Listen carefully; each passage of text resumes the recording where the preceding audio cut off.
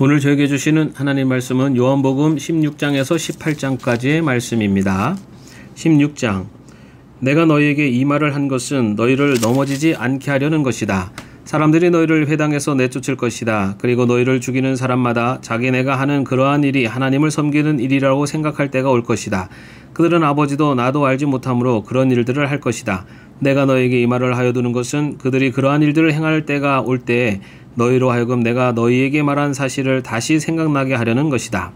또 내가 이 말을 처음에 하지 않은 것은 내가 너희와 함께 있었기 때문이다. 그러나 나는 지금 나를 보내신 분에게로 간다. 그런데 너희 가운데서 아무도 나더러 어디로 가느냐고 묻는 사람이 없고 도리어 내가 한 말 때문에 너희 마음에는 슬픔이 가득 찼다. 그러나 내가 너에게 진실을 말하는데 내가 떠나가는 것이 너에게 유익하다. 내가 떠나가지 않으면 보혜사가 너에게 오시지 않을 것이다. 그러나 내가 가면 보혜사를 너에게 보내주겠다. 그가 오시면 죄와 의와 심판에 대하여 세상의 잘못을 깨우치실 것이다. 죄에 대하여 깨우친다고 함은 세상 사람들이 나를 믿지 않기 때문이요 의에 대하여 깨우친다고 함은 내가 아버지께로 가고 너희가 나를 더 이상 못 볼 것이기 때문이요 심판에 대하여 깨우친다고 함은 이 세상의 통치자가 심판을 받았기 때문이다. 아직도 내가 너에게 할 말이 많으나 너희가 지금은 감당하지 못한다. 그러나 그분 곧 진리의 영이 오시면 그가 너희를 모든 진리 가운데로 인도하실 것이다. 그는 자기 마음대로 말씀하시지 않으시고 듣는 것만 일러주실 것이요 앞으로 올 일들을 너희에게 알려주실 것이다. 또 그는 나를 영광되게 하실 것이다. 그가 나의 것을 받아서 너희에게 알려주실 것이기 때문이다. 아버지께서 가지신 것은 다 나의 것이다. 그렇기 때문에 내가 성령이 나의 것을 받아서 너희에게 알려주실 것이라고 말하는 것이다. 조금 있으면 너희는 나를 보지 못할 것이다. 그러나 또 조금 있으면 나를 볼 것이다. 그의 제자 가운데서 몇몇이 서로 말하였다. 그가 우리에게 조금 있으면 나를 보지 못하게 되고 또 조금 있으면 나를 볼 것이다 하신 말씀이나 내가 아버지께로 가기 때문에라고 하신 말씀은 무슨 뜻일까? 그들은 말하기를 도대체 조금 있으면이라는 말씀이 무슨 뜻일까? 우리는 그가 무엇을 말씀하시는지 모르겠다 하였다. 예수께서는 제자들이 자기에게 물어보고 싶어 하는 마음을 아시고 그들에게 말씀하셨다. 내가 조금 있으면 너희가 나를 보지 못하게 되고 또 조금 있으면 나를 볼 것이다 한 말을 가지고 서로 논의하고 있느냐? 내가 진정으로 진정으로 너에게 말한다. 너희는 울며 애통하겠으나 세상은 기뻐할 것이다. 그러나 너희가 근심에 쌓여도 그 근심이 기쁨으로 변할 것이다. 여자가 해산할 때에는 근심에 잠긴다. 진통할 때가 왔기 때문이다. 그러나 아이를 낳으면 사람이 세상에 태어났다는 기쁨 때문에 그 고통을 더 이상 기억하지 않는다. 이와 같이 지금 너희가 근심에 쌓여 있지만 내가 다시 너희를 볼 때에는 너희의 마음이 기쁠 것이며 그 기쁨을 너희에게서 빼앗을 사람이 없을 것이다. 그날에는 너희가 나에게 아무것도 묻지 않을 것이다. 내가 진정으로 진정으로 너에게 말한다. 너희가 아버지께 구하는 것은 무엇이나 아버지께서 내 이름으로 주실 것이다. 지금까지는 너희가 아무것도 내 이름으로 구하지 않았다. 구하여라. 그러면 받을 것이다. 그래서 너희의 기쁨이 넘치게 될 것이다. 지금까지는 이런 것들을 내가 너희에게 비유로 말하였으나 다시는 내가 비유로 말하지 아니하고 아버지에 대하여 분명히 말해줄 때가 올 것이다. 그날에는 너희가 내 이름으로 아버지께 구할 것이다. 내가 너희를 위하여 아버지께 구하겠다는 말이 아니다. 아버지께서는 친히 너희를 사랑하신다. 그것은 너희가 나를 사랑하였고 또 내가 하나님께로부터 온 것을 믿었기 때문이다. 나는 아버지께서 나와서 세상에서 왔다. 나는 세상을 떠나서 아버지께로 간다. 그의 제자들이 말하였다. 보십시오. 이제 밝히어 말씀하여 주시고 비유로 말씀하지 않으시니 이제야 우리는 선생님께서 모든 것을 알고 계시다는 것과 누가 선생님께 물어볼 필요가 없을 정도로 환히 알려주신다는 것을 알았습니다. 이것으로 우리는 선생님이 하나님께로부터 오신 것을 믿습니다. 예수께서 대답하셨다. 이제는 너희가 믿느냐? 보아라. 너희가 나를 혼자 버려두고 제각기 자기 집으로 흩어져 갈 때가 올 것이다. 그때가 벌써 왔다. 그런데 아버지께서 나와 함께 계시니 나는 혼자 있는 것이 아니다. 내가 이것을 너에게 말하는 것은 너희가 내 안에서 평화를 얻게 하려는 것이다. 너희는 세상에서 환란을 당할 것이다. 그러나 용기를 내어라. 내가 세상을 이겼다. 17장 예수께서 이 말씀을 마치시고 눈을 들어 하늘을 우러러 보시고 말씀하셨다. 아버지, 때가 왔습니다. 아버지의 아들을 영광되게 하셔서 아들이 아버지께 영광을 돌리게 하여 주십시오. 아버지께서는 아들에게 모든 사람을 다스리는 권세를 주셨습니다. 그것은 아들로 하여금 아버지께서 그에게 주신 모든 사람에게 영생을 주게 하려는 것입니다. 영생은 오직 한 분이신 참 하나님을 알고 또 아버지께서 보내신 예수 그리스도를 하는 것입니다. 나는 아버지께서 내게 하라고 맡기신 일을 완성하여 땅에서 아버지께 영광을 돌렸습니다. 아버지 창세전에 내가 아버지와 함께 누리던 그 영광으로 나를 아버지 앞에서 영광되게 하여 주십시오. 나는 아버지께서 세상에서 택하셔서 내게 주신 사람들에게 아버지의 이름을 드러냈습니다. 그들은 본래 아버지의 사람들인데 아버지께서 그들을 나에게 주셨습니다. 그들은 아버지의 말씀을 지켰습니다.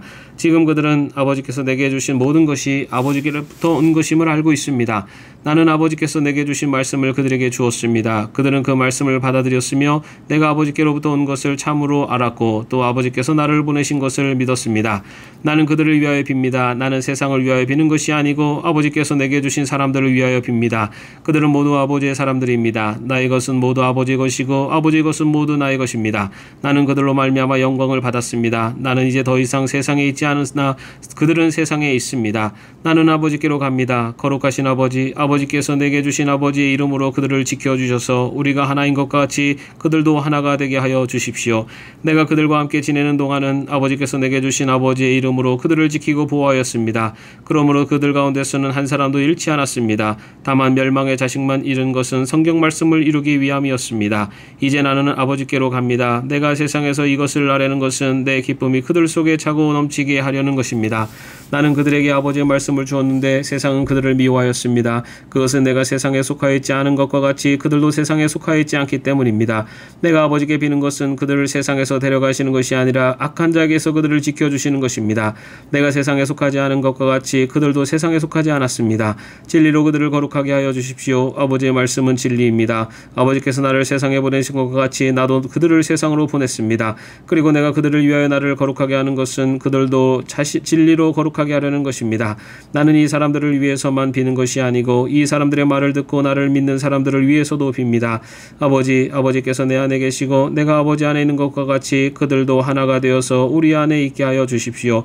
그래서 아버지께서 나를 보내셨다는 것을 세상이 믿게 하여 주십시오. 나는 아버지께서 내게 주신 영광을 그들에게 주었습니다. 그것은 우리가 하나인 것과 같이 그들도 하나가 되게 하려는 것입니다. 내가 그들 안에 있고 아버지께서 내 안에 계신 것은 그들이 완전히 하나가 되게 하려는 것입니다.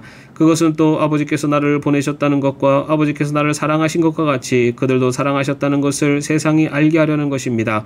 아버지, 아버지께서 내게 주신 사람들도 내가 있는 곳에 나와 함께 있게 하여 주시고 창세전부터 아버지께서 나를 사랑하셔서 내게 주신 내 영광을 그들도 보게 하여 주시기를 빕니다. 의로우신 아버지, 세상은 아버지를 알지 못하였으나 나는 아버지를 알았으며 이 사람들도 아버지께서 나를 보내신 것을 알고 있습니다. 나는 이미 그들에게 아버지의 이름을 알렸으며 앞으로도 알리겠습니다. 그것은 아버지께서 나를 사랑하신 그 사랑이 그들 안에 있게 하고 나도 그들 안에 있게 하려는 것입니다. 18장 예수께서 이 말씀을 하신 뒤에 제자들과 함께 기드론 골짜기 건너편으로 가셨다. 거기에는 동산이 하나 있었는데 예수와 그 제자들이 거기에 들어가셨다. 예수가 그 제자들과 함께 거기서 여러 번 보이셨으므로 예수를 넘겨줄 유다도 그것을 알고 있었다.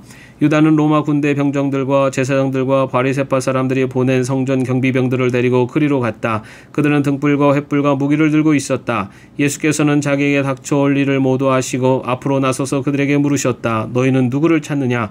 그들이 대답하셨다. 나사렛 사람 예수요. 예수께서 그들에게 말씀하셨다. 내가 그 사람이다. 예수를 넘겨줄 유다도 그들과 함께 서 있었다. 예수께서 그들에게 내가 그 사람이다 하고 하고 말씀하시니 그들은 뒤로 물러나서 땅에 쓰러졌다. 다시 예수께서 그들에게 물으셨다. 너희는 누구를 찾느냐? 그들이 대답하였다. 나사렛 사람 예수요. 예수께서 말씀하셨다. 내가 그 사람이라고 너에게 이미 말하였다. 너희가 나를 찾거든 이 사람들은 물러가게 하여라.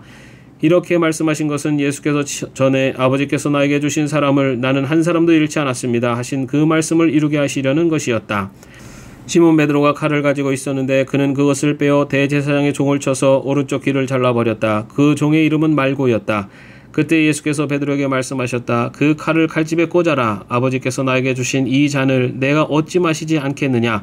로마 군대 병정들과 그 부대장과 유대 사람들의 성전 경비병들이 예수를 잡아 묶어서 먼저 안나스에게로 끌고 갔다.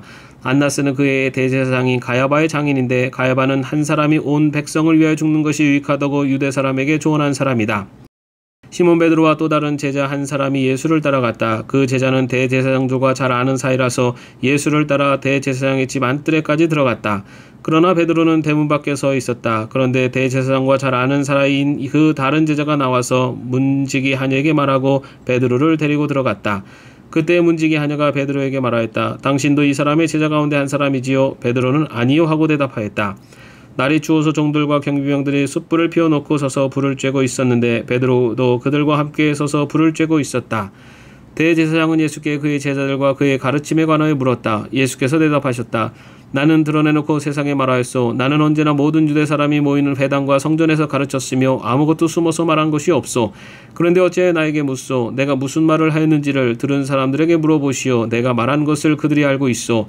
예수께서 이렇게 말씀하시니 경비병 한 사람이 곁에 서 있다가 대제사장에게 그게 무슨 대답이냐 하면서 손바닥으로 예수를 때렸다.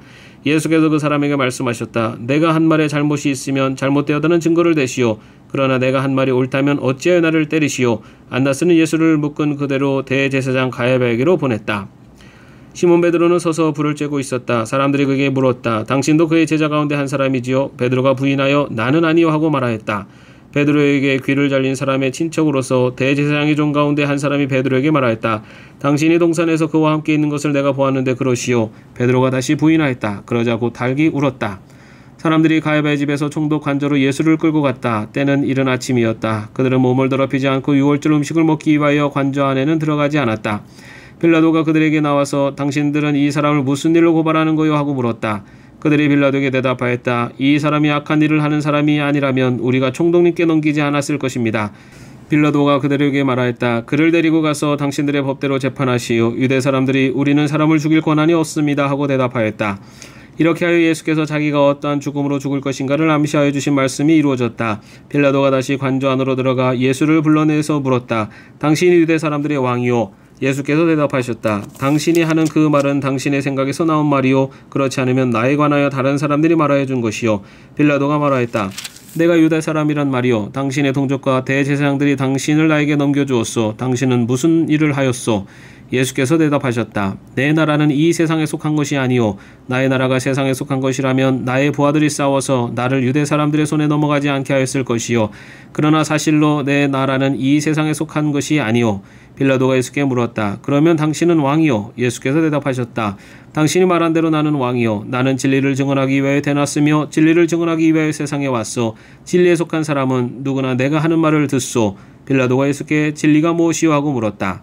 빌라도는 이 말을 하고 다시 유다 사람들에게로 나와서 말하였다. 나는 그에게서 아무 죄도 찾지 못하였소. 6월절에는 내가 여러분에게 죄수한 사람을 놓아주는 관례가 있소. 그러니 유대 사람들의 왕을 놓아주는 것이 어떻겠소. 그들은 다시 큰 소리로 그 사람이 아니오 바라바를 놓아주시오 하고 외쳤다. 바라바는 강도였다. 아멘. 오늘도 평안한 하루 되시기를 바랍니다.